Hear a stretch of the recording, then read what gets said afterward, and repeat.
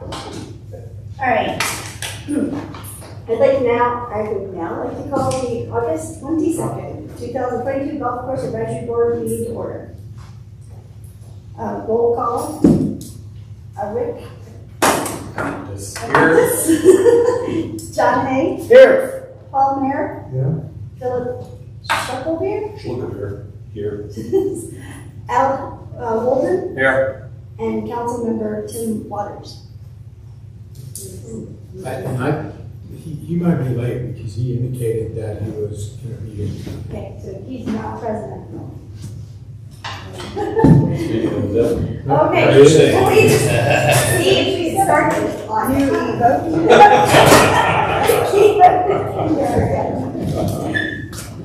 I call Councilman Waters. And Council, Councilmember Tim Waters? All right. Um, can I get approval of the agenda? I, I have a change. Do you want to change that? That seems off. Well, Or, oh, sorry, go ahead. so I would like to change the order that after we do public invited to be heard, that we do new business A first. That way our visitors don't have to stay here all night. As, as much fun as we want to be with. On to, So after public invited to be heard, if we could do, jump down to seven A. gotcha, heard five A. I was like, that's where we go, never mind. Okay, I'd like to make a motion that we approve the agenda as modified. Second. I do have a couple of modifications first. okay, So it states that Ryan Williams was. So we're, we're on the agenda, we're not at minutes yet. Oh, Yeah. I'm sorry. Wrong. Approved. Okay. So approval of tonight's agenda. Approved. Second, perfect. Uh, on to approval of previous month's minutes. So I have one, uh, two comments. It says that Ryan Williams was both present and absent. I'm not sure. He was good that night. He was really fast. Yeah, he was not there. He was not there. I am very honest. And then the other thing is, um, again, in our revenue, we keep putting a decimal point. It's really hundred and forty-three percent, not one point four three percent, et cetera, et cetera, all the way through on both revenue and rounds. Otherwise, we only be up a couple of points, not where we're really at.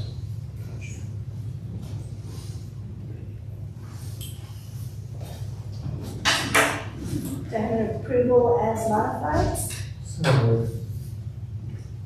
Second. All right, um, seven.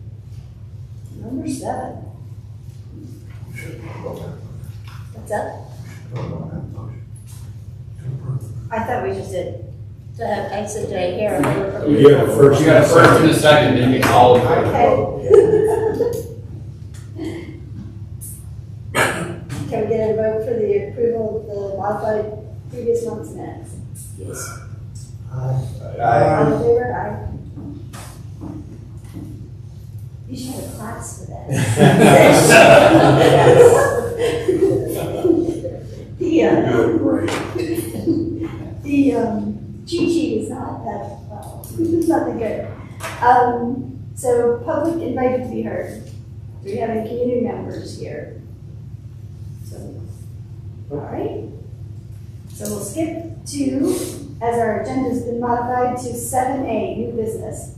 Information on anticipated two thousand twenty-two election ballot questions. Hi. Hi. I'm Becky Twell, Director of Strategic Integration. Um, we're here to share some information about items that are on the ballot for November. Um, I don't know if you're the best place to talk probably. Uh, the first thing we'd like to share is a video of some heritage monuments. So, let's hear this. It's got it. Oh, didn't turn it off.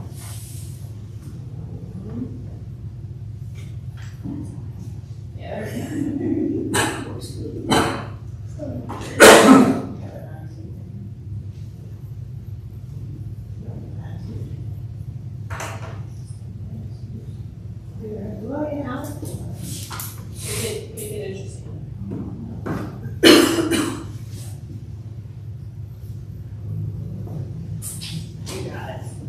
In 2013, Longmont experienced a 100-year flood that resulted in over $53 million in damage to Longmont's infrastructure. Area homes and businesses were damaged, and bridges were flooded or washed away. In response, the city of Longmont initiated the Resilient St. Vrain Project, which not only focuses on repairing what was lost during the flood, but also aims to ensure that future floods are not as destructive to our community.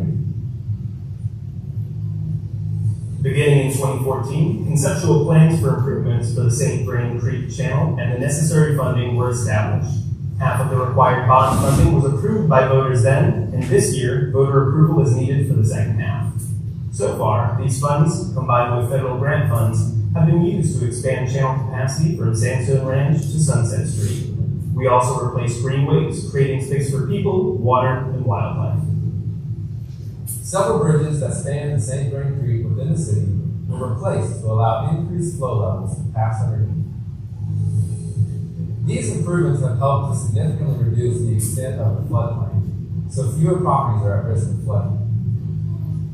As we approach the final phase of the project, the city is ready to seek voter approval for the second half of the funding. On the November ballot, voters will be asked to approve the issuance of $20 million in storm drainage bonds to increase channel capacity from Sunset Street to Hover Street, protecting people, property, and infrastructure from future flooding risks. While the city continues to pursue grant funding for this next phase of improvements of the Resilient St. Vrain project, work cannot continue without additional funding in place. You can think of bond funding like taking out a mortgage on a house. Using bonds helps pay for needed improvements now while spreading out the cost of those improvements over time. That means that both current and future users share in the costs more equitably. These are all considerations to keep in mind when voting. Here are some reasons why a voter might be in favor of this ballot issue.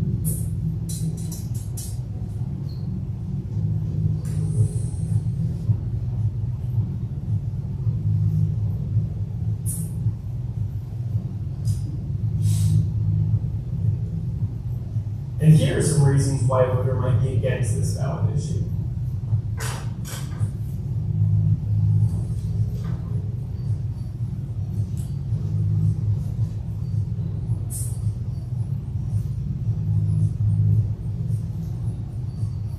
A yes vote would allow the city of Longmont to issue $20 million in storm drainage bonds along with existing fund balances and adopted rate increases to complete resilient St. Vrain improvements to Hover Street. A no vote would mean bonds would not be issued. Adopted rate increases would still take place. Those rate increases plus existing cash balances could be used for identified projects, but other funding sources would need to be found. The safety and resilience of our community in the face of future flood risks are essential. We ask you to spend some time researching the issues, ask questions if you have them, And most importantly, vote. vote. Learn more about the storm drainage bond issue at longmontcolorado.gov slash ballot. Election day is Tuesday, November 8th.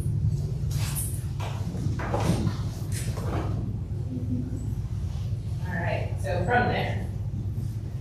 We have this. What is the? Here. So in addition to the, the question uh, regarding storm drainage bonds, Sandy's gonna make this look better. Maybe, maybe.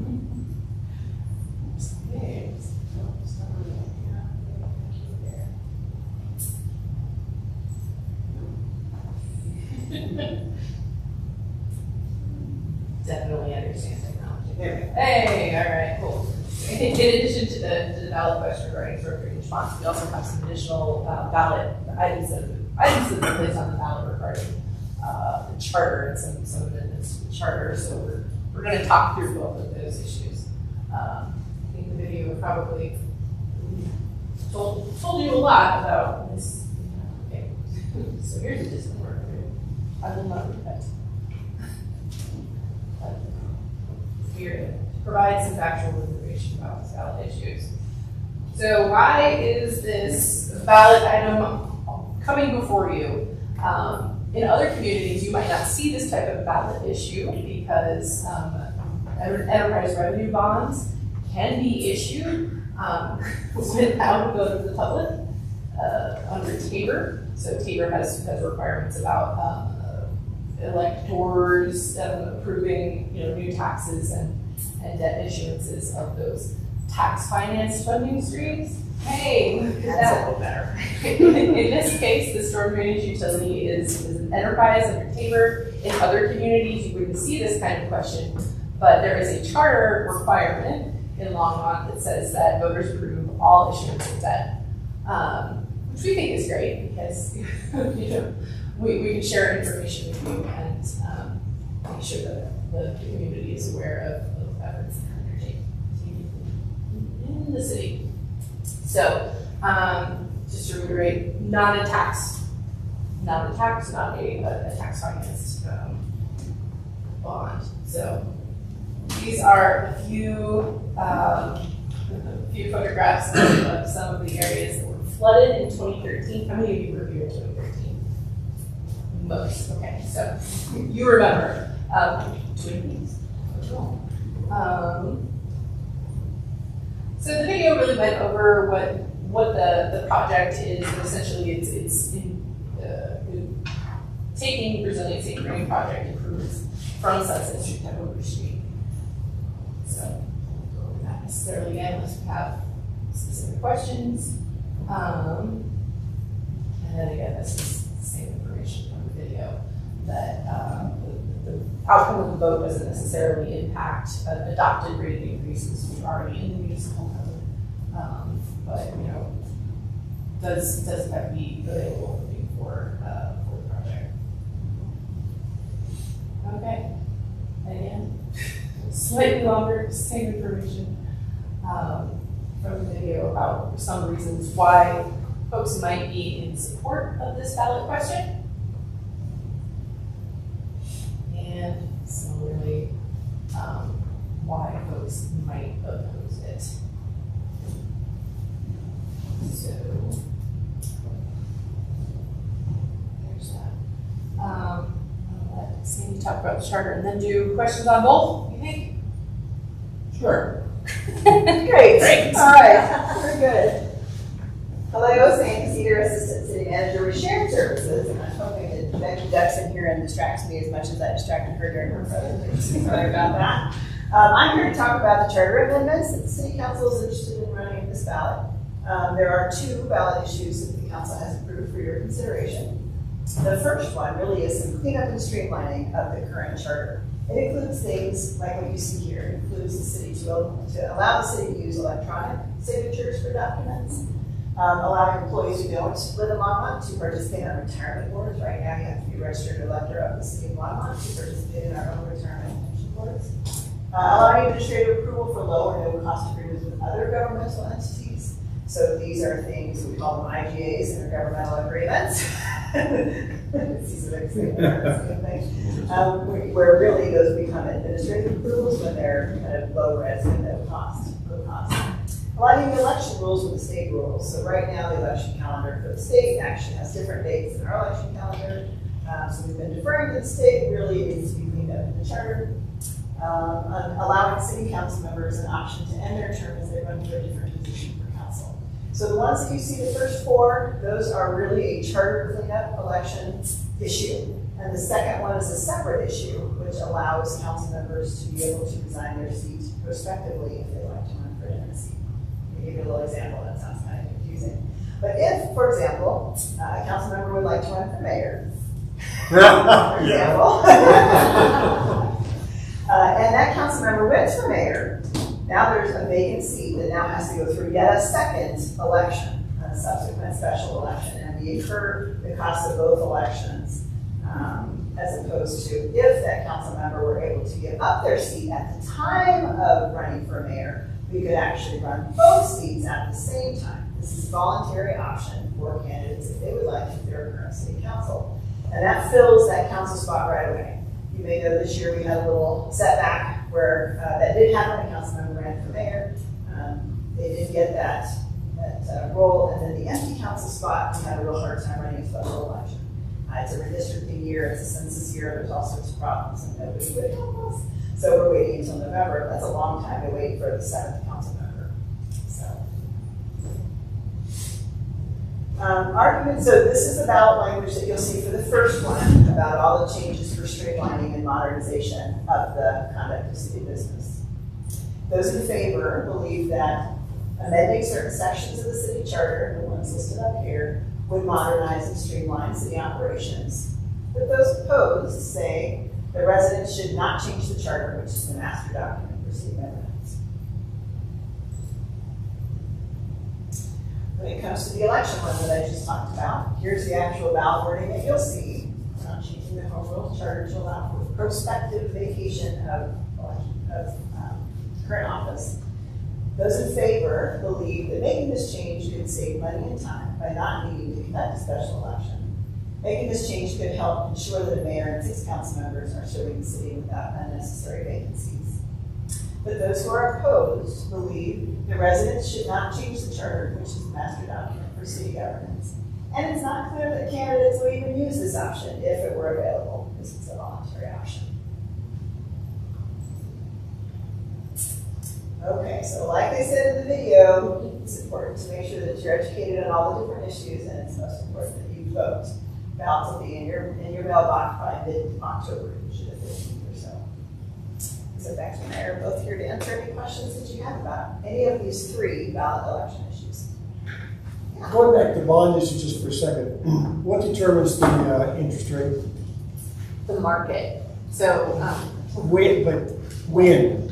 Uh, after, so if, uh, if the, the ballot question has a yes vote, then, um, at that point, we could start the process of going to market for, the- for the bonds. So it's the point, it would be ninety days after the election, so it's when the bond sale occurs.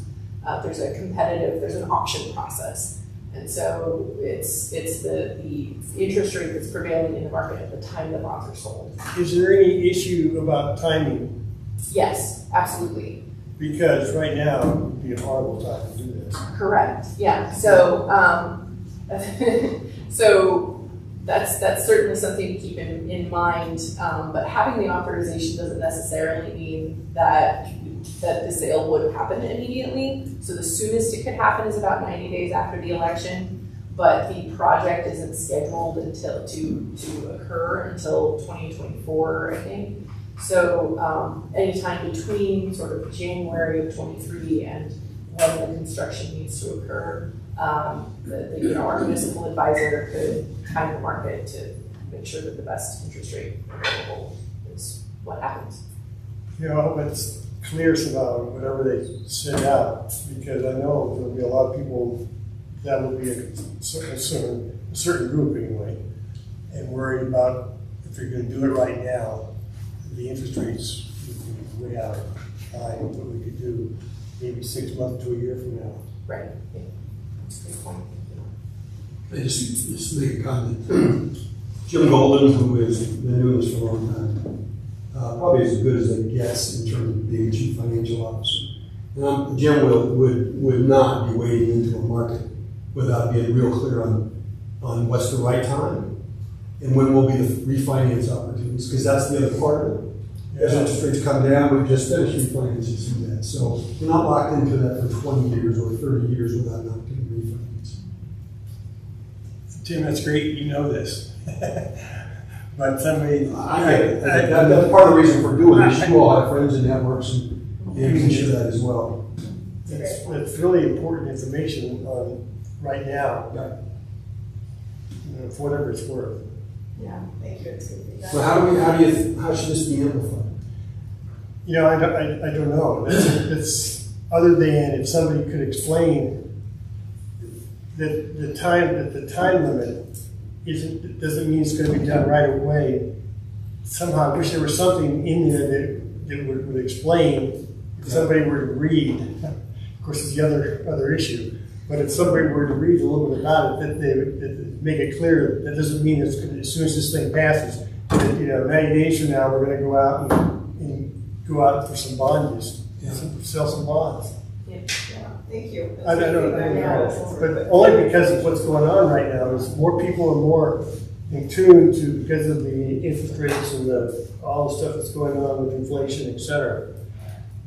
That would, I, I, I would think that would be one thing that would tend to have people not vote for it, to be honest with you. Unless they understood, hey, this, we're gonna do this at an optimum time, Thank you. whatever that's worth. Great. That, that, that's, that's great, and I was curious about interest rates as well, because most people like myself would like to know the total cost of the bond. And, and maybe it's a little bit, it would be helpful if we knew what that interest rate was based upon, whether it's prime or whatever. Yeah. Uh, the other question I had is, we mentioned Sunset to Hover. What is being taken out of the floodplain along that reach? So the- there are some maps that are, that are part of that, that ballot uh, webpage that, that you can take a look at. Um, to a certain extent, you, you know, the, the improvements from Sunset to Hover are going to complete the changes to the floodplain that have actually occurred um, downstream of that. Right. So, um, uh, some examples, you know, there are some commercial and residential areas on the south side of, uh, of the creek, um, uh, heading, heading east, um, from Sunset, and, and that's primarily what is taken out of the. So, so is this then to supplement what has already been done to those eastern reaches, or is this some sort of mitigation for that reach, or? Well, the whole thing is mitigation. Well, True, Yes. true, true, true, true, but, but, I mean, if we've already done the work on those eastern reaches, why do I care about this stretch from Sunset Hover? And I'm just playing devil's advocate. So, So this is really the last piece of those improvements. So the, the whole thing, we have conceptual design, or, you know, the, the whole length of, of, uh, of the creek within the city also.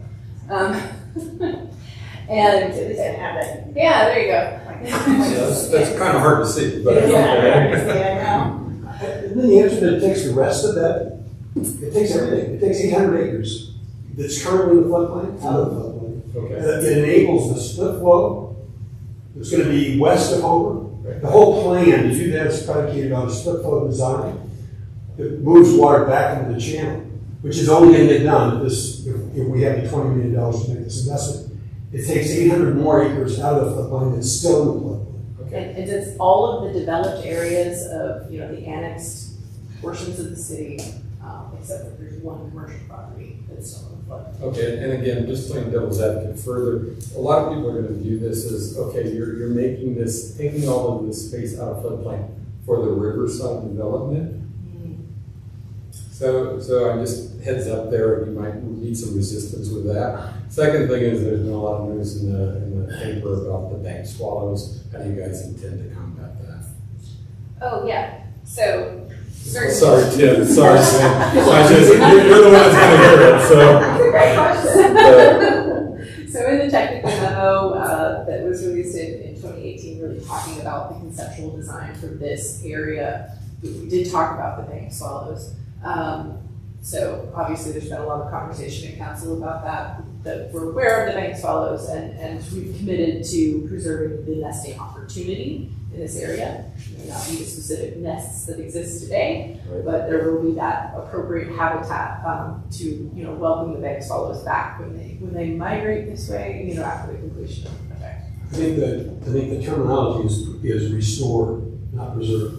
Correct. It's What- restore the What nesting. the advocates wanted was the preservation, which was, which would have prohibited the split flow of design. Right. And it would have cost uh, millions and millions more. The, the, the restoration of the, of the habitat is a different kind of a, an approach. And there's some evidence that it works, that bank swallows aren't that persnickety about their nest. It's the environment. And what took precedence, I hope you'll appreciate this, in this decision were, were people and their property. Not that we don't care bank swallows, Right. but we were gonna first put people first and their property and then attend to bank swallow habitat restoration. That, that's fair, I, I'm, like I said, I'm being devil's advocate a bit. So I have a strong point of view on this. Two, two, two more questions. Does this in any way affect Twin Peaks golf course? Is this, is this gonna take us out of the floodplain if we're in one at the moment? I, I, I can't read your map, so. I don't know the answer to that. Okay, second, second question, to take that a step further, you're asking for mitigation between Sunset and Hover. Are you gonna come back five years from now and say, I need to fix from Hover all the way out to hygiene? It's a great question. Um, there, there's not currently a plan for that. Um, you know, certainly I think it would be a, a policy decision about whether to continue the improvements. And, you know, our recommendation at that point would be to, to look at the, the cost and, costs and benefits of, uh. Okay, but do you feel like this stretch is gonna have a significant benefit for all the work that's been done thus far and, and protect Longmont? Yes, Okay. yes, and right. the way that we know that is that it's been through the, you know, FEMA's cost benefit analysis calculator and shows that it has a. You, you just kind of segued into another question for me, so FEMA's cut the money? So We're done from FEMA?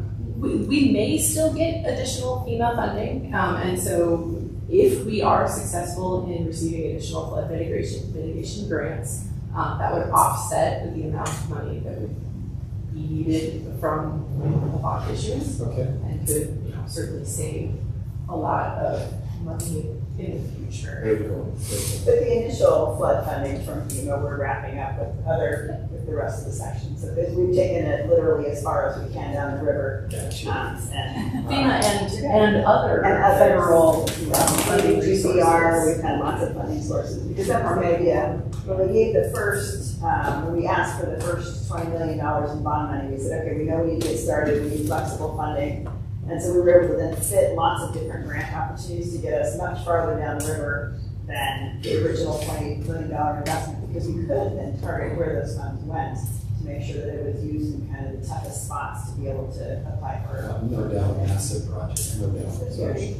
All right, thanks. Yeah. I was, was able to find the Hoover Ridge map, Oh, so there's, there's more information about it. Would it take out three weeks? I'm not totally sure, actually, when I look at this, it looks like perhaps.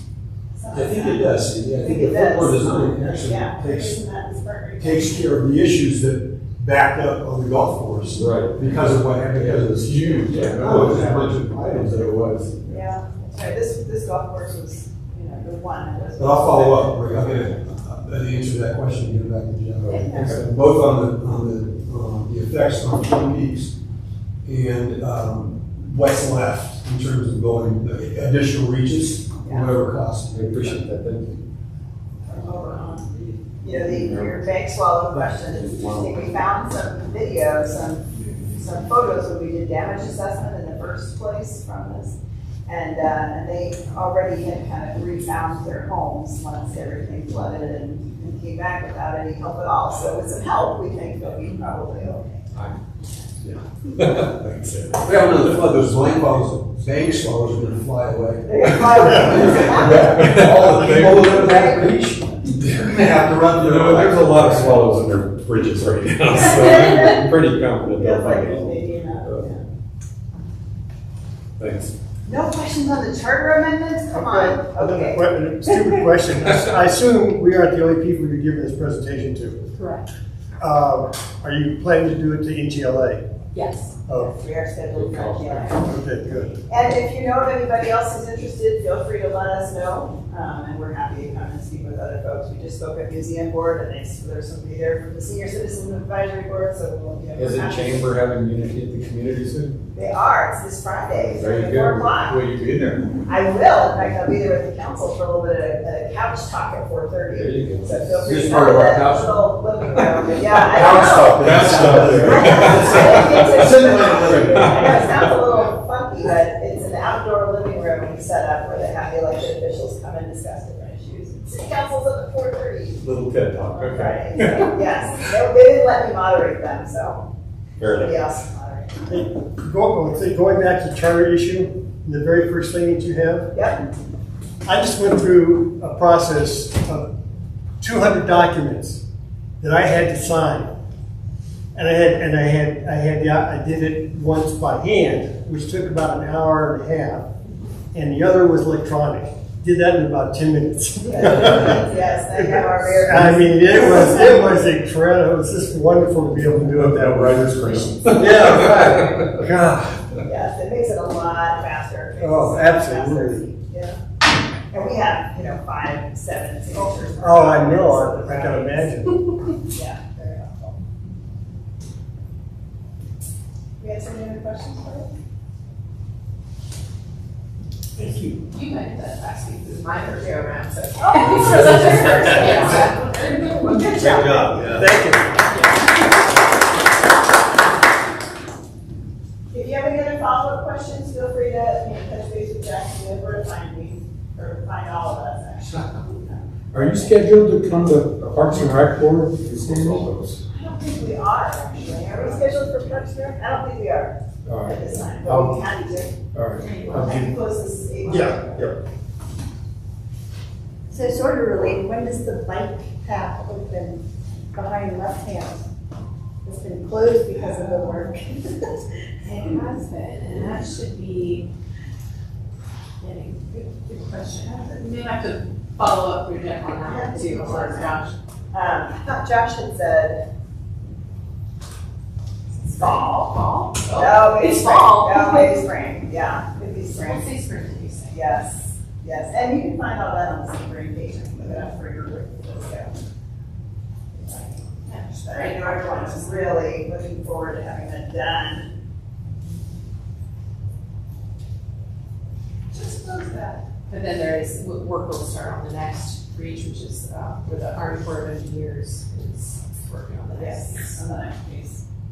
That's by Izaak Walton. Yeah. So will that be closed Yeah. while they're doing that?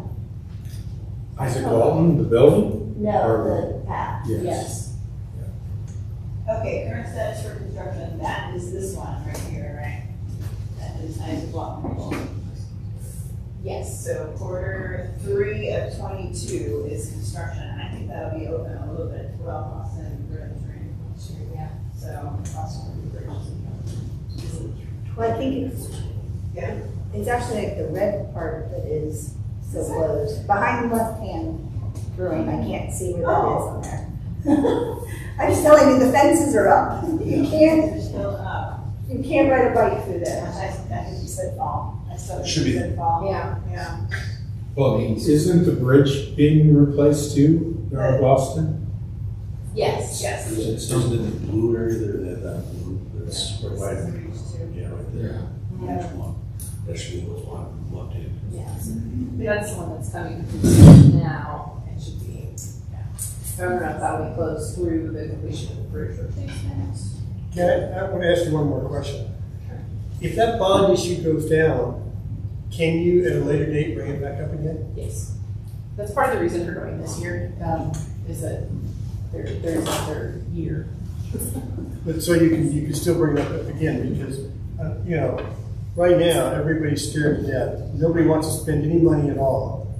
And if, you know, I'm on the business, on the business channel all the time, so I just know what's going on. And, uh, it's just, just a horrible time to come out and quote ask for money. True. Um, but, you know, having the flexibility to issue bonds at some point in the next, you know, eighteen to twenty-four months is gonna help us time Good, you know, good, supply because chain, inflation, really- all those things. Horrible time to try to do this. Yeah, very true. The market is a little crazy right now. Hey, Scott, did you catch that last question about where the bike paths are? But we'll make sure we get that information back to Jeff as well. Because I would hate to tell you it's tomorrow. Tomorrow, not really tomorrow, just kidding. So we'll find the right answer and get it back to Jeff. Very good. Thank you. Thank you so Thank much you. for having Thank us, you. we really appreciate it, thanks for everything you do for our boards and commissions, we really appreciate your advice and, uh, and, and your involvement in, in our community, so thank you all. Thank you. So Jeff, you want to come back to communications now? Yep. All right. So we. Go to communications. With the Golf President reports. Sam, do you want to start? Uh, absolutely. Has everybody had a chance to look at this uh, packet? Now the revenue, looking pretty good, huh? Yeah.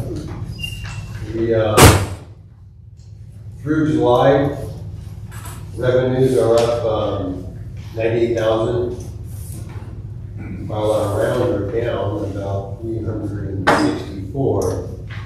So the revenue we've been running for around is staying very strong. Uh, that's really due in part mainly from our uh, fee increases that we did this past, uh, this past year. Um, Membership sales have increased tremendously, about thirty-eight thousand dollars, I believe, in membership sales, so.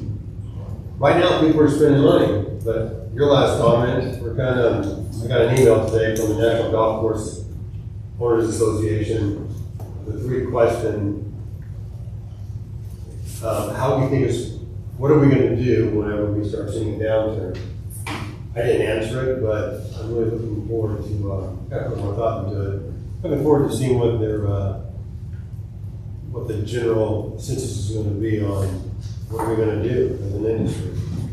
So far, with, um, you know, the past three years since COVID, it's been, it's been wonderful. I mean, you gotta try to make tee time, you've probably seen that it's, of course, it's a bowl. It's been very good, so golf is still strong. I don't see it going down yet, but I think it's something we definitely need to keep our pulse on, keep an eye on it and see how, see how out.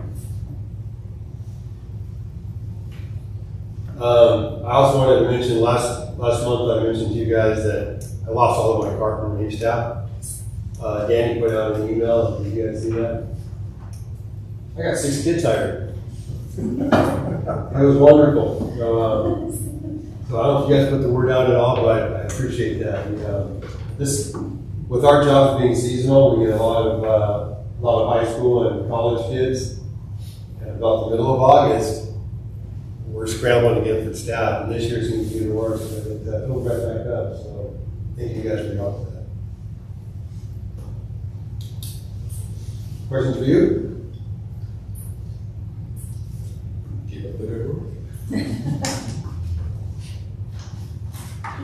I'll go ahead and do Sunset. Ryan's not here, and uh, Sunset continues to be a good, uh, good, good course to talk about. My goodness gracious, the actual revenue year to date, three seventy-seven, six twenty-one. Um, for the year, up fifteen point four percent. So on pace to have just a tremendous year at Sunset, probably easily a record-breaking year. So they are doing great over there. And for everybody that went to the uh, celebration, that was pretty cool. That was pretty cool. And see everybody out there and to celebrate 100 years. And I think a lot of good, a lot of folks had a good time. Saw a lot of smiles. So that was really good. Very exciting. As far as Twin Peaks goes, we were, uh, continuing to just hang right in there. Year to date, we're up 6.9%. We had a great month in uh, in July. Amazing what we're projecting and how far we're coming in over those projections, and and still 16,000 over over what we did last year, which was a good which was a good year. So, and this this month is looking really good as well. So, um, I agree with Sam. Things are going to change, you know, but hopefully not too much, and hopefully what we have is a lot of new golfers that have come out of this, and the hope is that they keep playing, and, that just continues. So we're, we've been very fortunate because I think we've really grown the game during this time, and a lot of people that wouldn't have played golf have played golf. The hope is that they just continue to play golf. So, That's about all for Twin Peaks. I'd say that, uh, well, some, I'll- I'm going to talk a little bit into this, so I'll say more in a few minutes. Thank you.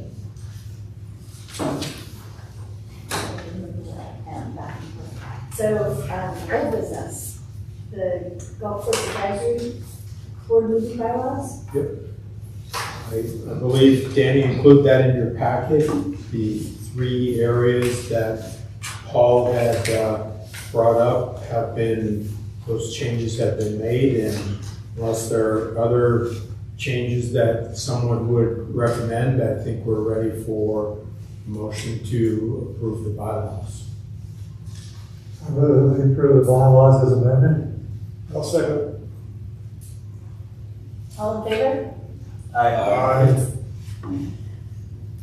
All right. You didn't get to be quiet that, that long. All right. All right, so back to new business, the, the um, Twin Peaks presentation. Ryan? Yes. Right there, my stuff set up. and- Ryan, Ryan, while you're doing that, you want me to just roll down? Yep. Okay, you can set up and I'll roll forward. All right, so Ryan and I are gonna kind of double team this. He's gonna do the maintenance side of things. I'm just gonna do kind of the operation side of Twin Peaks and just kind of how things have gone this year. Um, and and maybe kind of take everyone through a little different snapshot of, of how it all works. Um, we had, uh, let's see, we had several outside events. Um, there were corporate events, uh, a company called CED, which is an electrical supply company out of Boulder. Our Suez League had their big tournament here. Um, we're, we're used at Twin Peaks primarily for fundraisers. Uh, so Longmont High School alumni had a fundraiser. The American Legion held a fundraiser. Dance Dimensions held a fundraiser. Silver Creek, if you guys saw me run out there and grab their signs a few minutes ago, they had a fundraiser. Skyline Football raised twelve thousand dollars in their fundraiser. The Fraternal Order of Police is having a fundraiser on 9-10, and on that same day we have a Double Shotgun. University of Colorado hockey team is having a fundraiser here. So that gives an idea of all the different tournament type events that we run. Uh, we have, we're going to end up hosting five high school tournaments between the girls and then three boys events this fall. 17 men's club events uh, starting in March, um, actually April. We have every Thursday we have two groups of women that play. Um, the 18 holers have 20 to 24 players, and 9 holers have 30 to 36 players. That's every Thursday all summer. Um, then we are competitive events. We run the uh, the spring invitational uh, here at Twin Peaks. And we might do a fall. I, I'm thinking maybe not, but it's still a chance. And then the Bulldog City Championship, uh, which is run at all three golf courses, which had 106 players this year. Everything went remarkably smoothly. Went very well. Yeah, so it, it really did go well. It, uh, I'd say half the players now are coming in from out of Longmont, which is kind of neat because we're bringing people to our golf courses from out of town and we're supporting the event, so that's really cool. To that end, the uh, Colorado Golf Association, we're hosting the Mid-Am qualifier here in a couple weeks on Monday in September here. And then in the evenings, on Monday nights, we have we have what we call the Bob League and the Suez League. On Tuesday nights, we have the Array League and Inertia Space Production League. Wednesday nights, we have the Sweet Spots League, which is about 30 to 40 women in that league, and the DD League and the Suez League. So we have three leagues on Wednesday nights, and so we send them off both nights. Thursday nights, we have what's called the TED League, which is our longest running league, and they have 40 people that play. So this is these things happen every single week, all summer long. Then junior golf, we ended up doing, I described junior golf earlier in the year, we have first step and next step, ended up doing 12 next step sessions, and we did 10 first step sessions. So the next step are the older kids, there's a playing component to that. That playing component generated 232 rounds for the little, the little ones after they finished. So they went out and played 232 of them over the course the summer, went out and played nine holes. So that was really awesome. So we had 10 first step events, and that just, you know, gives you a real quick summary of what it is like in, in kind of just a week at Twin Peaks, and you got to talk about some of the bigger events, but uh, very different at all three golf courses. We have such diversity at all three golf courses. and Sam has a whole bunch more corporate events. Ball Aerospace was there last week, right? Yeah. And you got more, Did ever, yeah. lot, lot more corporate stuff there, and then a lot more fundraisers here because our price is cheaper, which means if you're running a fundraiser, you can raise more money. So it just makes sense. So anyway, that just kind of gives you an idea of, of, of how things are at Twin Peaks. And uh, I wanted to say too that I can't say enough about Ryan and his crew. My goodness, what a, I mean, the golf course we have a going on 50 year old irrigation system, and uh, they, they they they chase leaks all summer and they put the water where it needs to be. And thank goodness Mother Nature helped us out the last couple of years. The course, the course is the course is in the best condition it's been in all year. It's the greenest it's been, and uh, but Ryan and his crew just just the city tournament. I can't tell you the, the feedback we got was so nice to you know have guys play 18 holes and not one complaint. Everyone could not stop raving about how good the greens were and how great the golf course played. Um, just and him and I got to go out and, and prep the course and, and kind of mark the course for how we wanted it set up. So we actually put a lot of thought into you know making the golf course present really well for the players and give them a chance to really shoot a good score. So it was really neat. So I can't thank him enough and his crew. And I can't thank Jeff enough for kind of, how do I say, trusting us and empowering us and giving us giving us the ability to go and do what we need to do to get things done. And that's that for us has really been great. So Ryan, take us away. All right. Like Chief mentioned, I'm gonna talk about some of the maintenance stuff. I'll kind of go over the projects we had, kind of where we're moving to the future, some little information for the rest of the year, and there'll be room for any questions if anyone has it. So we'll get started here with doing a Twin Peaks project update. One of our largest projects we've had so far this year was the cart path renovation on five tee box. This was a cart path that we've had in the works for the past year and a half, and COVID kind of disrupted the scheduling of it. The company we had scheduled for it had well, too much work and not enough workers last year, and we kind of got pushed off of this year. We finally got it done and was finished up uh, June 17th this year. So this kind of presents a before and after uh, both of the areas here. So now we have a little bit of a cart path that goes from the restrooms to the five tee box area with the turnaround area by the Champatee on five. And also you notice here on the lower right-hand one, we also laid some sod and put in sprinklers. So if anyone who's been familiar with the area knows that this for the longest time has been a big dirt bank. Now has had grass growing on, growing on it all summer long due to the new sprinklers and the sod that was put in that area. So we're really happy that it finally happened, and I think it's a great improvement to that area, and we'll be had a good uh, visual improvement for the golfers too, and also some good use area. So, so one of the other projects that I had done this year is not as exciting was replacing this uh, dumpster enclosure here in the parking But lot. just as important. It is important. So the old enclosure, out of the four supports, had one that was still standing. All the other three of them were broken off at the ground. So had a company come in, uh, redo the whole enclosure. So now the two support beams in the front are now metal I-beams, so they won't crack underneath the pressure of the gates when they're open and closed. I'm sure the sanitation department really appreciates not having to fight with the gates every time they come to get the trash at the golf course. So, you know, not as exciting as a car path, but equally as important and one of those things that needed to get done and it's added a little bit of visual improvement out there in the parking lot for everybody. I can tell you, somebody who takes the trash out, it's significant. Yeah, exactly. You, you just didn't know what you were gonna get when you were opening that thing before. Yeah, before Now- And now you just, you just kind of pull that little black handle down and it opens up real nice. Yeah, you can see kind of faintly here the marks the old gates. Yeah. Get the uh, black top to make it a little hard to open. Now this one, no problems with it. I'm not kidding, it's real nice. You also go give it a little go before you leave. So we have that done. And also on the agenda for this year, uh, the one, one to get done is uh, renovation of the women's restroom on the golf course. This was something that we did the men's side, I believe it was last year already, because the whole wall that separates the two restrooms um, was really unstable. So if you ever been in there and the sink swaddled, that's because that wall didn't have the support it needed for the sinks. So the construction crew that came in went at it from the men's restroom side. That's where all the piping and access was.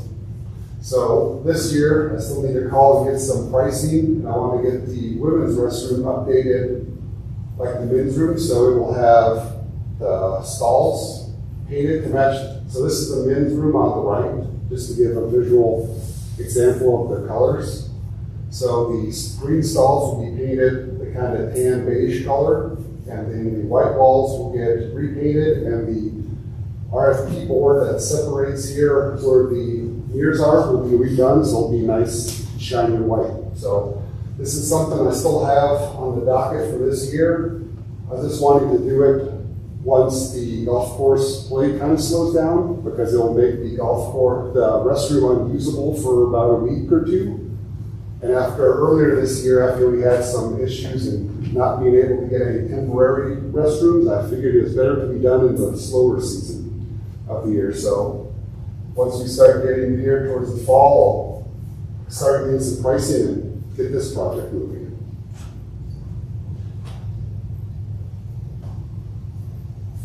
The biggest project we have going on, and here's just a little brief update on the Twin Peaks irrigation system.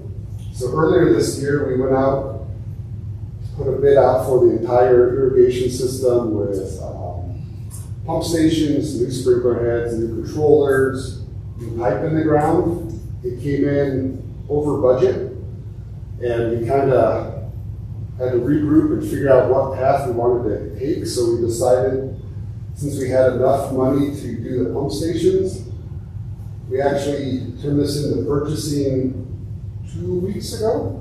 And purchasing is currently working on getting the official bid together, and this will go out bid here in the first part of September for, we're going to get the two new pump stations tied into the old irrigation system. So that way, the heart of the irrigation system will be updated. And then from there, in November, we'll be going out to bid for the rest of the system along with Sunset. So this is kind of uh, going to make it a two-part project now. So this right here kind of gives a little example here on the left of a schematic of what our new pump stations would look like. And then this here on the right is kind of a brief overview of where the new pump stations will be tied into the existing irrigation system. Where the existing irrigation system is the red and the new stuff is the blue. So once this portion is done and we move on to the new stuff, whatever company comes in will be able to tie in where the blue is without disrupting around the pump stations and then move out from there to the new piping whenever that phase gets started. And we'll send the presentations both for Twin Peaks and Ute Creek uh, out to you tomorrow so that, I mean, it's really hard to read that, but It that way you can take comes on a PDF like this. I tried to clear it up, but it. It's just small from where we're sitting. So then as part of this portion of it, says down here, we'll also be getting the new central computer, which will be a great asset to the new pump stations because the central and the pump station will be able to talk to each other, and that way they'll know, the computer will know what the pressures are in the system, and the pump station will know what the computer wants to do so they can work hand in hand to optimize how the system runs. So it'll be more efficient, save power, less water, unlike the system we have now where we plan for how it runs, but it might not run that way because everything's mechanical and some things don't always run the same way twice when you set it up. Ryan, because I'm a nerd, where's the central computer located at? The central computer is down at our um, maintenance shop. So, so it'll be on site here? Yep, it'll be on site. So it'll be a physical computer on site, but part of the software is it can be remotely accessed through an app. Oh, sweet, okay. So like currently now I have access to Twin Peaks and Sunsets through the different apps. So if something ever happened, it can be adjusted on the fly from afar, or if, or if I'm in the field working on something, you can send out a signal to the system to test something from in the system instead of having to run back to the shop, test it, and run back out and see what you're doing. Very good. Cool, thanks. Yep. And I assume you stop the system if it's raining and Yep. all that good stuff. Yep. start it going on. Um, I don't know if it'll be part of this phase or the second, but there will be a weather station at some point. So in this part, it'll be right now where we communicate with the clubhouse staff. Hey, is it raining? Hey, it's raining here. You guys should come take a look, and then we'll shut it down. We've, which this year we've actually had to do an awful lot with these random rainstorms we've gotten in the area, but Mother Nature always is the best sprinkler system when you can get it. Any other questions on this time? I, I assume that you know how much water you're using now, Yes, we have a, because what's gonna be really important is when you get that done, is to be able to say, okay, we were doing this amount of water, and now we're only using this amount of water. And I bring that up only because I was in charge of our system at our HOA. We have, we have a thousand heads. And it was put in nineteen eighty-six. And it's still there, right? And I, I had, when somebody said all, all the stuff and problems you run into, oh my God. So anyway, uh, just, we had, you know, people come in and inspect it for water and were we doing it right and all this kind of stuff. And one of the things that we did do is we changed the heads. There were a thousand heads, and they were pressure sensitive. When we we have a really relatively small area, but you could go two blocks that way, and the pressure would be one way. You go two blocks this way, the pressure would be something else. And you're trying to say, okay, I want to put on a you know an inch of, an inch of water over three days or whatever the case may be. But this inch over here and the inch over here would be entirely different. And so by putting the, these, these heads that were sensitive to pressure, we actually reduced our water by twenty-five percent and the green, and the grass was as green as it ever was. And so, and the nice thing about it for us, because we were part of the NGLA, we went in for a, for a grant. We got the grant, paid for it, et cetera. So, um, but if people are gonna criticize you or criticize us at any, any point in time, you definitely, definitely want these, these, these statistics and figures to Well, prove that this- what we're doing was the right thing. well, this map here doesn't illustrate this, this is just a small portion of it. But uh, unlike um, a residential system that's kind of a herringbone, you have your water and then it moves out. This new system will be completely looped, so one area will be getting water from numerous directions to help even the flow in the golf course. And right now, this system we currently have, the heads will throw about 90 gallons a minute at 110 feet at 100 psi. The new system is designed to do about 65 to 70 feet throw at 60 psi, and the heads will throw about 60 gallons a minute. So already on paper, we're already ahead of savings, and we'll be we'll be moving from uh, currently we have around I believe it's 800 sprinkler heads, and we'll be going up to 1,400 sprinkler heads just because of that spacing that shrinks down, which will make it a lot less room for air if it's ever windy, uh, any dips in pressure, so you don't have as much throw for it to have those um, bad spots to come in between the heads. So it'll be a lot more uniform and tight than this current system we have. Quite's a good one though. Every time, whether it's the Riverside development or any other project, first question is, do you have enough water? And, and, and we're not far away from people arguing that golf courses are, I know it. That's are an unnecessary luxury. Yeah. We don't have enough water, which is not true, but I, having those data would be really powerful in times. Well, you've heard the past couple of week or so of the national news is the Colorado River Problem. Hey, Brian, I have a separate question Yeah. about the, about the gold crushers and, and, and in general, I mean, we Yeah. spend a fair amount of money putting them in all three golf courses. Can you just me real quick how you kind of maintain that? I know that, you know, from the tee box at nine to the clubhouse at, uh, uh, Sunset with, with the rain, kind of building gullies. And you see, you know, the turnaround at eight getting worn out. Same thing here on the back of five, a little bit between ten and eleven. I mean, how do you, how do you maintain that? Do you drag it like a baseball field? I mean, what do you do? So um, the gold crushers we used, or the red crushers we used at Sunset, and I believe Creek has used some of the same product. Um, so it's a crushing material and then it has a binder in it. It's uh, called Staylock. So when it gets the moisture in it, you pack it down and then eventually over time it will harden as concrete. But it does, well, almost like concrete. But it does, when it does get wet, get a little soft. So in high rainstorms, it does tend to flow a little bit. But the way we would uh, maintain it is you'd either get um, a device like a box blade or we have a scarifier on the back of one of the Sand Pros. You rip it up a little bit, put down new material, and then you just compact it. And then just keep compacting it and then it will Yeah, because I think all those rains having an effect on it, Mhm. isn't it? Right, it's a few places where. Yep, and then- Showing somewhere. And then, yeah, at Sunset on number nine, we are learning that it's not probably the greatest that on grade- the grade for the there, grade, and that yeah. grade is a lot steeper than we thought. Yeah. But the guys over there have been filling in the gullies as they can and trying to patch it as much as they can. It's just an ongoing, you see it, put it down, you pack it, and we have some extra stuff around the maintenance shops to fix, any- fix any potholes or gullies that come up as we go through the year. Thanks. Yep. Right, then, next slide is another upcoming one here for, this is, this is slide of, uh, twenty twenty-three projects.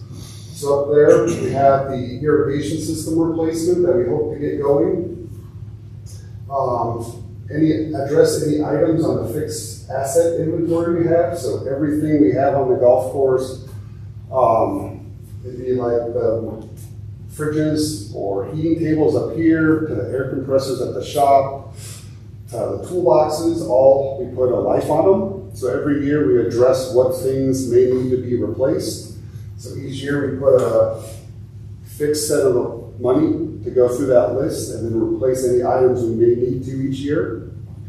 Which also, um, kind of goes into the next one where we'll be replacing the driving range picker. So the picker part on the front of the tractor out there will be replaced. It's definitely seen its wear and tear over the past, how old would you say that thing is, Keith? I've been here seventeen years.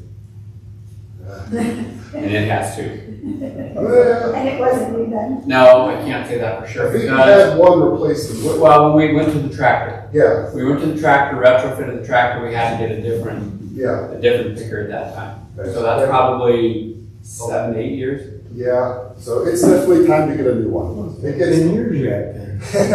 it gets pushed around quite the, I'm sure if we put a odometer on it, it'd get pushed around quite a few miles out there around that driving range. And then one of my other projects I have going on is, um, replacing sections of the tie wall here around the clubhouse.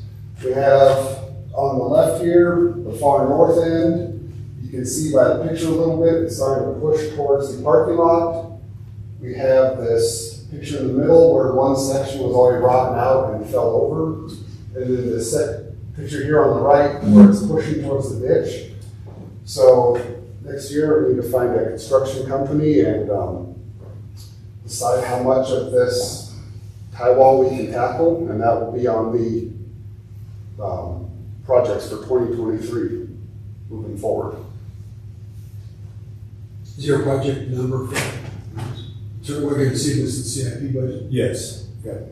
Uh, So- PRO one ninety-one. So this is CIP money? Yes. That- And this is what we have proposed. Um, Harold, uh, the city manager, will be uh, presenting the budget next week to council. And council goes through September and October with budget meetings and sometime the end of October, early November, we'll find what- out what um, council approves.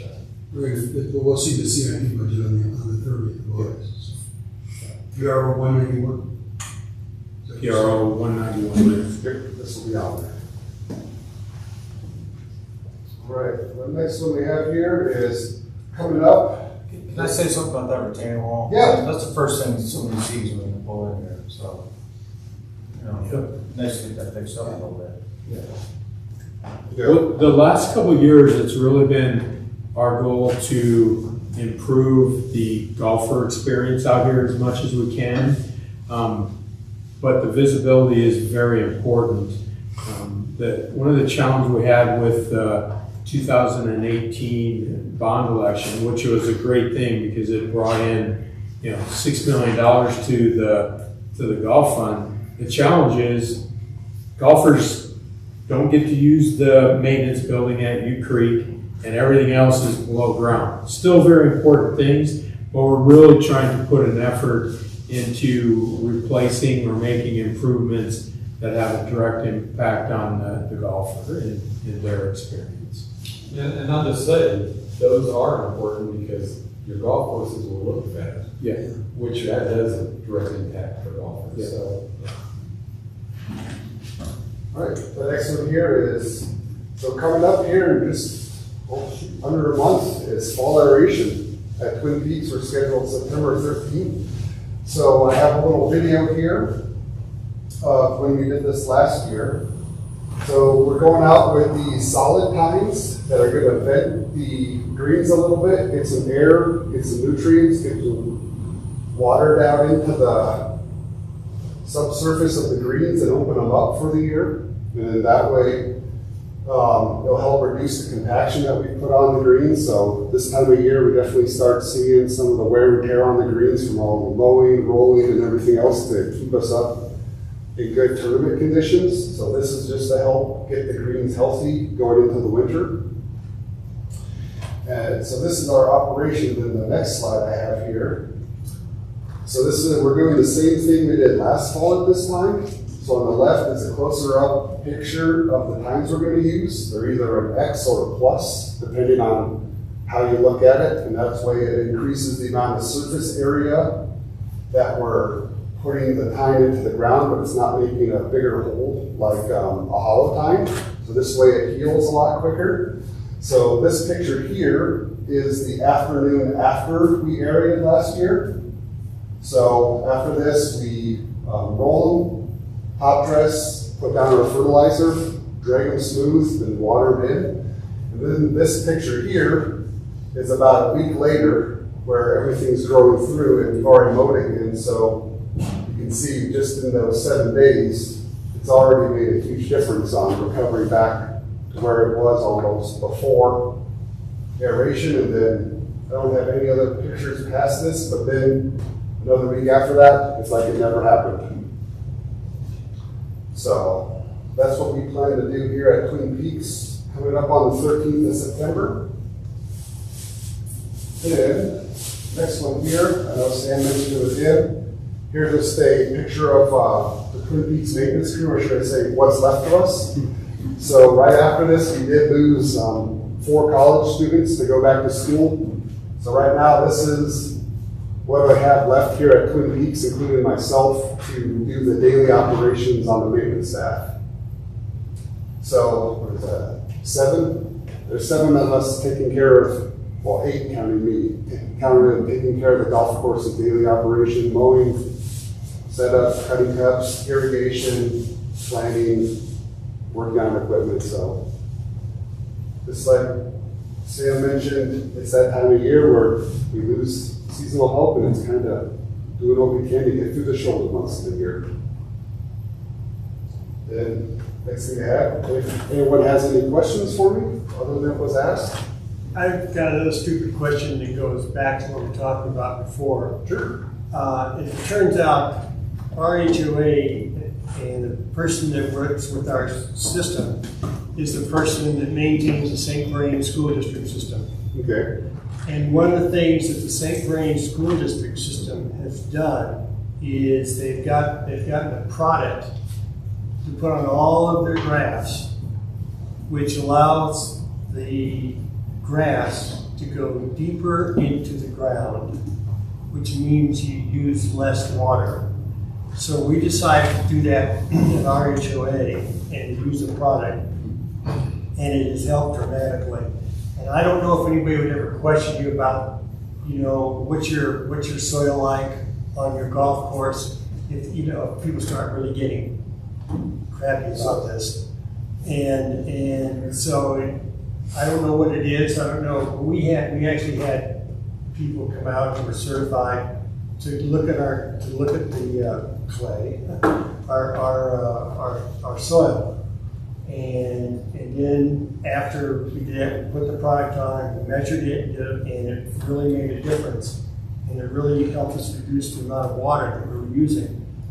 And so, you know, the St. Vrain School District does it, and they've made huge steps in that direction. And so I don't know if it's something that golf courses consider even looking at or not looking at or whatever. But at some point in time, and there's, there are, you know, companies now that they have products that you can use just for that purpose based on the type of soil that you have. And uh, I don't know if it's something you ever want to look at or not, but So just going off of how you explained it, I'm sure Dan will have the same stuff, but it sounds a lot like a wetting agent. A so- or a soil surfactant that helps the water get down through whatever your stuff. No, what it, what it really is, is it, it, uh, to loosen the soil. I hate to say that, but sort of. But what it's really about is allowing the grass roots to go deeper into the ground. And our grass roots were about like that, and now they're like that. And that makes a big difference in the amount of water you have to use to keep the grass green. So I don't know if that's anything that you've ever considered looking at or not long term. I can't remember what I had for breakfast. Uh, but if you're really interested, I'll, I'll get you a whole lot of stuff on it. That'd be great, John, thanks. Yeah. You and I also do every year, throughout the year, meet with agronomists in the area that come out and do soil samples Oh, for us. So we can, so we do know how much we need or what our ground, gra- soil's missing and what we need to add Oh, to different areas. So we do take a look at all that different stuff and Okay. see what the courses do need to help even a little better. Well, I just brought it up because that's another issue that may come up at some point in time. Before Dan gets going, I just want to say what Ryan was explaining relative to the aerification of the greens and those, those pluses or X's and that whole regeneration process. From an operation standpoint, the, the golfers don't even hardly know that we're doing it. And the, the golf course is very playable. So when you, when you do a spring aerification, we pull cores out, I mean, it is destructive and it is, takes forever for the grass to grow back. It's a, it's a full six weeks before you finally have a really good surface again. And this happens very quickly, and even while it's happening, the ball still rolls good, people can still putt good, but yeah, we're taking care of our turf. So I, I really appreciate that they're doing that, and that's helped us revenue-wise in the fall, doing it this way as opposed to pulling cores. Because people will call, are you pulling cores? No, we're not. And then they'll make the tee time. So, anyway, thanks, go ahead. All right, so I'll talk about some projects that we got going on this year at Ute Creek and then a few that we have going on for, for next year also.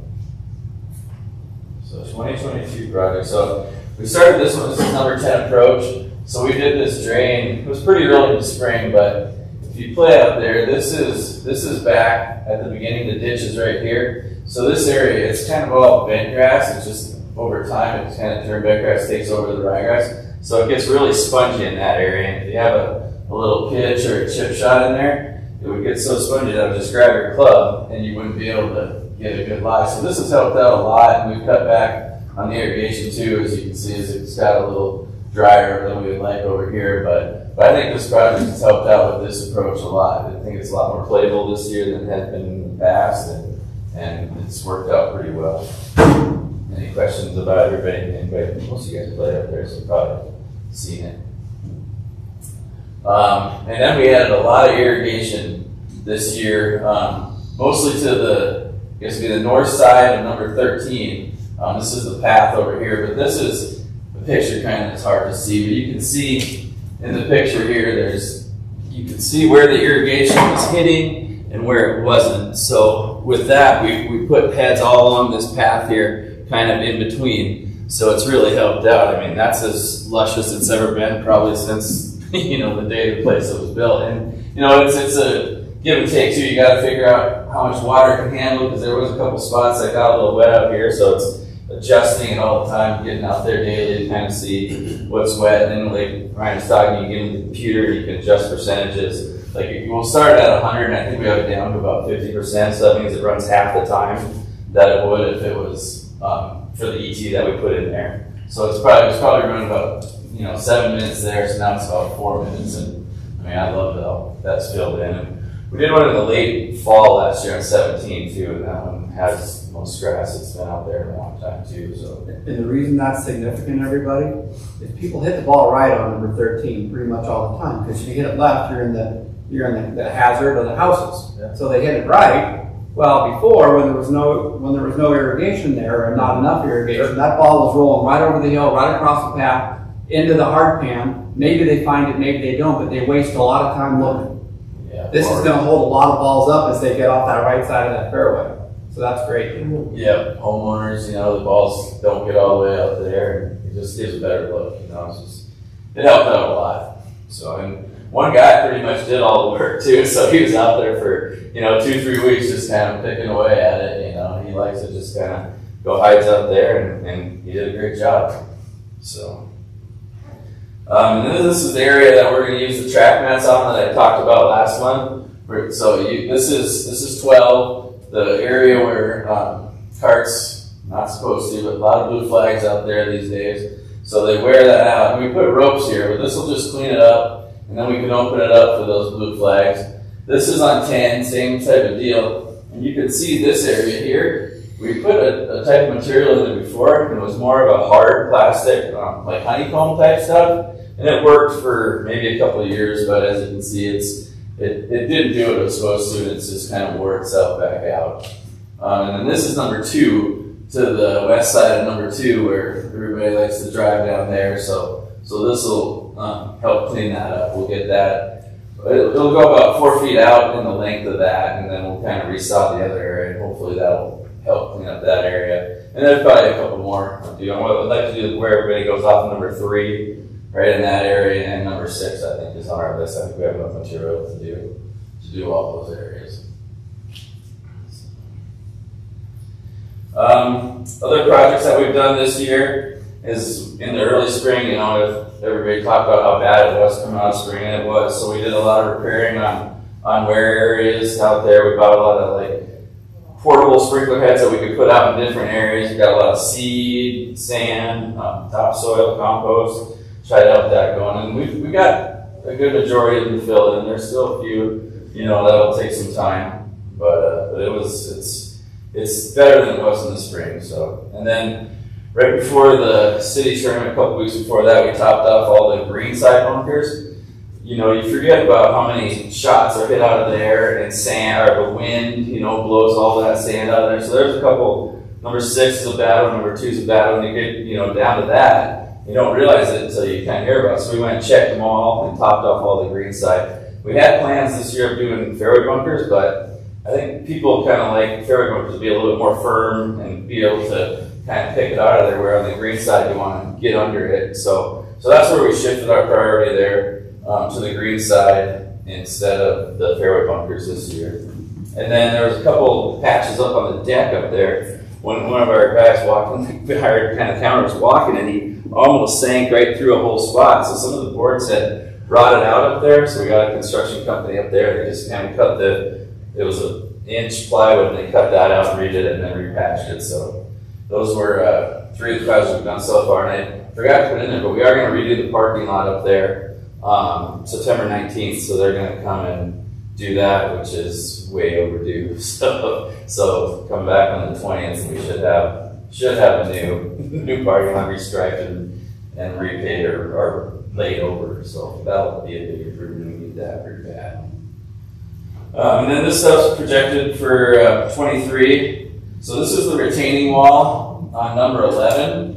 Um, you can see how it's splitting and all the, this is gravel that's falling through there. And this has actually been put together a little bit by our city staff, the operations guys. Went out there and tore the whole wall down and kind of rebuilt it. It looks great right now. So I don't know, we have trying maybe to get them to do the other side and save us maybe $100,000, but it's going to come down to what the engineers think if, if it needs to be done by an actual, you know, geotechnical firm or, or something like that. So, but they did a great job and it's, it's holding up really well right now. So, so that's one of them for 2023, which will take a good part of our CIP budget if that's what we have to do.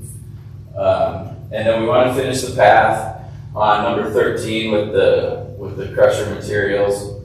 And then there's some, uh, some stuff that's starting to wear up on the clubhouse, like around the perimeters, around the gutters up there, maybe some other few areas up there. There's a railing down there that's getting a little loose and. I did get some quotes on that. So this, that's some of the other couple of projects that we have planned for 2023 around the clubhouse. Um, and then these are, these are our guys, my guys right here. Um, minus a couple of the other full-time guys that were on vacation last week, but, uh, yeah, we can't do it without, uh, without our help. And we have a couple more than Ryan does, but we have a few more acres too, so, so, uh, yep, those are the ones that, that make it ha- happen. I can put on a plan, but I can't do it without, without a lot of help, so, so I appreciate those guys a lot. That's about it for Ute Creek. Anybody have any questions for Ute Creek? What happened to the third grade? Yeah, uh, I think I heard that. No, I, I don't have a big problem talking about this. It's been a nightmare for the last two months. I mean, did something happen? No, nothing happened. Well, irrigation, we had, Fair enough. we had an irrigation problem and somebody It didn't looked catch like it. something happened. So, yeah, it was just, it just burned. Yeah. Somebody, an irrigation satellite went out, and they trip every once in a while, and if you don't catch it, it doesn't turn itself back on or anything, so you gotta go find the problem. And it happened late June, uh, we got it back, it was doing pretty good. Happened late July again, and yeah, it drove me crazy. But we sodded it today, we sodded the front, the front right, the front left, and we got a little bit, we gotta do a little bit more in the back. So it's, it's a little rough right now, we'll take a lot of top dressing, some, some mowing. We're gonna go to a temporary green on number three for, till Friday morning. Friday morning, we'll open it back up, and it'll be, it's not gonna be hundred percent, there's gonna be grass there, so we'll get it back, give us a couple weeks, and three green will keep up with the rest of them. And it's important to remember, twenty-five millimeter irrigation system you can drink as well. No, I get it. Yeah. I mean, I've just been playing here a long time. We're- I've never seen anything Uh, like it. it's- I thought it- Three pieces. I thought it was like Oh, a fungus or something. I didn't know. I wish, I wish. So we, yeah, we need, to it's gonna be replaced as well. Yeah, no, Well, that- Dan's got to work with out there, they're, they're doing a great job. Yeah, there was a couple of sleepless nights because of that. Three I think that's the other reason I was surprised about it, right? So, You know, I play there all the time. Yeah. I've never seen. Yeah, that's, greens were really good this year, but somebody told me, hey, of course is great, greens are great. I said, yeah, but three green. So, And Butte Creek's a challenge, um, to keep them. wall to wall green because of all the hills, the undulations and the, and the roughs. You keep those greens, the fairways flood. Keep the fairways just right, they stay a little bit dry, which I'm more of a fan of because if the rough's a little bit dry, plays best, it's, you know, we'd rather have a little bit of a drier rough or a thick plush rough or anything like that. so. But the Dan uses a That's little less it. water and, uh, the course is playing firm and fast. It's been, it's been very good.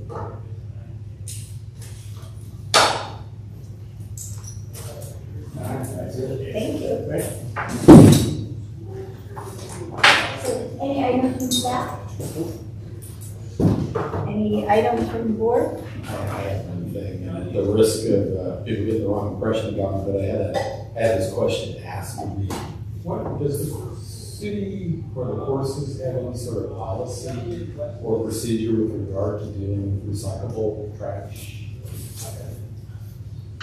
It, they do, but we, we don't have the receptacles yet. We're working with sanitation and we'll have those out on the, the, in the clubhouses at least. That's all I needed to know. Yes, appreciate it. we collect all the cans and we, uh, put them in our recycling. Yeah, off the course, our guys go around Monday, Friday, Saturday, Sunday, and they separate the trash from the cans, the aluminum, the bottles and all that. And, and I, I play like Sunset, and I know we segregate the trash to some degree, but I don't, Yeah. I don't think we have official signs saying, put your cans No, here. but our guys do, they like pick through They it. actually. Yeah. Wow. Yeah. Sorry. Some days. I was just curious, I was just curious. Thanks. Yeah. Appreciate it. That's all. Thank you. Uh, yeah, I've got something. Um, I went to the, uh, hundred, hundred, the hundred year meeting or celebration at Sunset. My wife wasn't with me, so I was by myself. So I decided to go around and introduce myself to a lot of people there And I said, you know, my name's John Hay, how you do, I'm on the board. And I want to thank you for coming to our meeting, to our celebration, we really appreciate it. And, you know, if you, do you have any comments or issues that you would like to bring up? I said, we've got a board meeting Monday night. And so with you, I would like to share with you what I got, the feedback I got back. And the other thing was there were about, probably around three hundred people, and went through, I think, about 225, 230 hot dogs. Ran out of, ran out of, um, what do you call it, the- the buns, et cetera. But I think there were about three hundred people. The other thing I noticed, the majority of the people were seniors. Uh, maybe because they got the time to be able to go there and all that kind of stuff, et cetera. So most of the people I talked to were seniors. Um, one of the issues that came up by a couple of ladies was, why don't you have a bathroom on the fifth, on the fifth hole at, at, at Sunset? They, they said, uh, they really complained about since we got there now, what is it, the, the two? uh, toilets. They said that they, that they're, they thought it was just a disgrace of how they were being maintained. What I didn't do was go and ask them why, you know, what was wrong, et cetera. Because They said, they just like complained about that. And they said, gee, can't you just bring a water line in from the street over to, over to, and, you know, put some toilets in like that? They said, you've got a partial building, just finish it off. So, anyway, that was, that was, uh, one of the uh, issues that a couple of ladies had. Uh, another issue that came up multiple times was calling for tee times, and we we didn't answer it at the at the golf course, so it went to the to, to the you know where it's Chicago or whatever it is, and they said they just thought that was terrible the way it worked. And I said, well, look, if you don't, I said all you have to do is say we can please connect me back to the golf course. So I did enter that with a couple of people, but that was an issue that they had for, for whatever that's worth.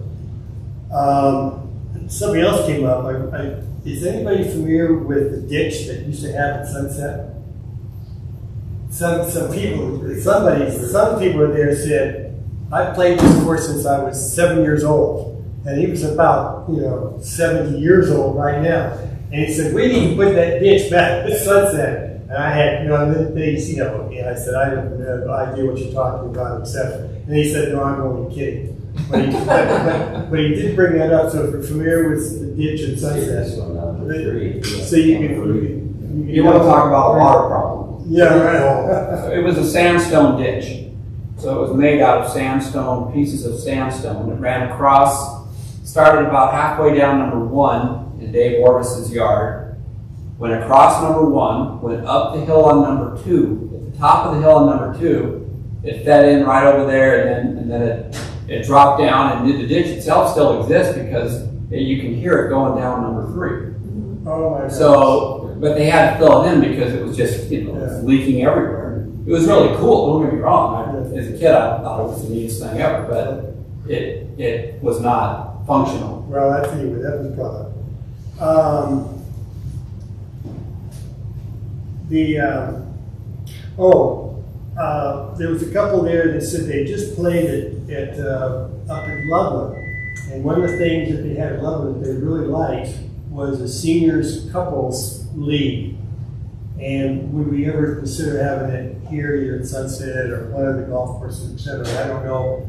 He said, we, I thought, who I was talking to, said, I thought it was gonna move down to, to, uh, Longmont, but he wanted to know what was, were there any plans for that or not, or what do you do, or they don't do, or? Somebody like that needs to step up and just form a league. Know, Like if they have the interest for that, because we, we can't do that. I don't know how. I mean, we can't like start our own, the leagues come to us. Um, you know, we can might, we might be able to help out with the process, but somebody that has an interest like that, they'd be the perfect person to get something like that started. And we can help them with marketing it. Oh, okay, I wish I understood more, but I couldn't, I, I said I just bring it up in the meeting and do whatever I could. Um, and Sam, we had, a- we had a group there that just raved about your staff. Oh, good. They raved about. Listen, listen, they named him, they said you were absolutely wonderful. They went down and started naming, name, name, name, name, name, name. So, that's, that's funny, to what you're saying. Well, they all worked at you. Yeah, right. Uh, the other, another thing that brought up, somebody wanted to know, why don't we ever put a screen up on, on, getting, going back to Sunset, on Third, on Third Avenue there? And just as an aside, I was playing there in January with three guys, and they were hitting it from the blue tees, and one of them really was really good, and he hit the ball 300 yards without even trying. Anyway, he hit the ball from the third tee on the blue and hit the tree at the top of, you know, the rise on the third, know, and then there's that big tree up there. He hit the top of that tree. He went out into the, uh, on Third Avenue, on the Third Street, and a car came by, hit a windshield and broke it. And, uh, you know, the neighbor, you know, he went out and took it, everything was fine, et cetera. But, and I said, well, I said, it had been considered several times, but the cost was so, so, so much, we just couldn't afford to do it. So I, is that a good answer? That's a perfect answer. Okay, but I mean, that's, I think that's. That's why those trees are there, though. Those trees do help a little bit right there on the right side. See, why didn't I think of that? Yeah. Jeez. How often does that happen? If he hit the ball far, you probably never put a screen to the catcher. I, well, that's also true. That's also true. Um, so uh, the other thing, though, that was common all the way through, everybody raved about the conditions of the courses this year. That meant you, Twin Peaks, and Sunset. They just raved about how wonderful the course conditions were. So that, I mean, I really, everybody couldn't say enough nice things about, wonderful to hear. about the, the, the three courses. The- these things I brought up were sort of, you know, blah, they weren't really, uh, except the, except the toilet. Um, so that was, that was what I got back. I had I talked to probably about thirty or forty people. Uh, most of them were, were at the, uh, you know, the tables and, and been eating and all that kind of stuff, et cetera. But everybody thought, thought what we were doing was fantastic, so that was really nice. I just wanted to pass that on to you. I think what you did was great. Yeah. Yeah. Thanks, John. Brian, Brian, I have a question to you. So, so the bathrooms over there, they're not supposed to be public bathrooms? At the maintenance in Sunset? Right No, they're public restrooms. No, they- they- No, oh, so you know there's two real bathrooms?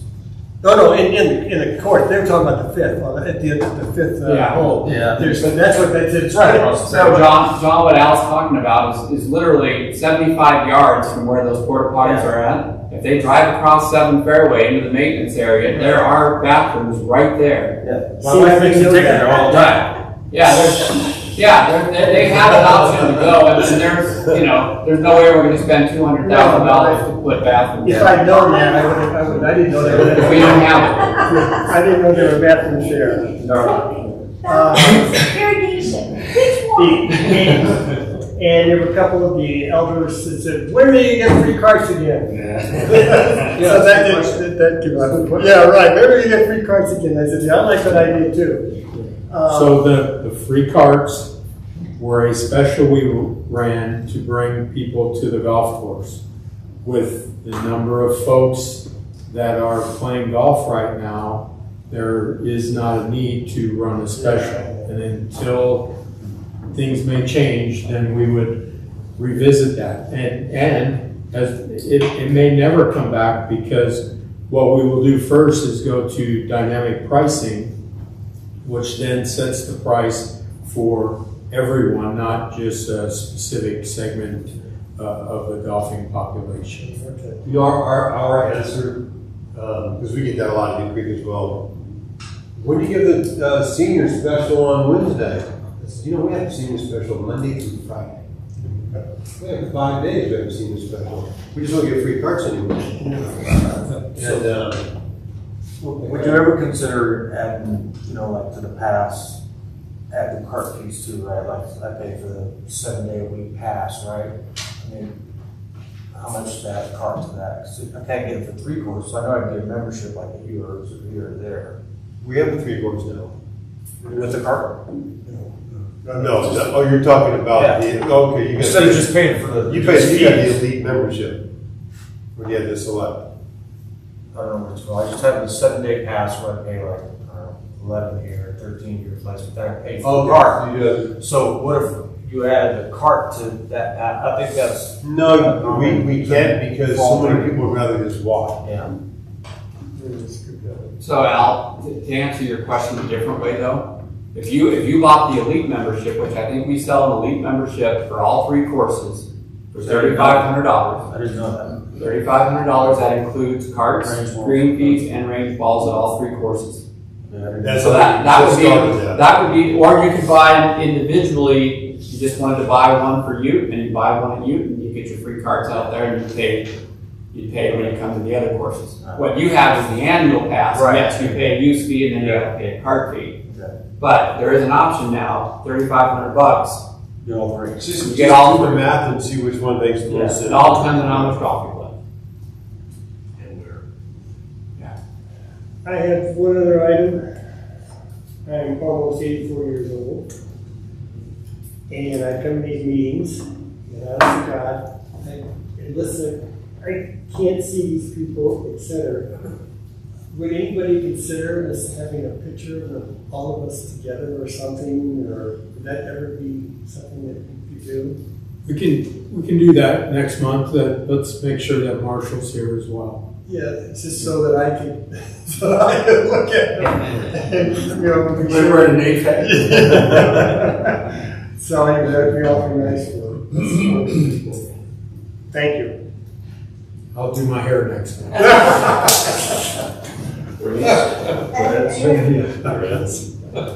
I move to adjourn. Second. All in favor?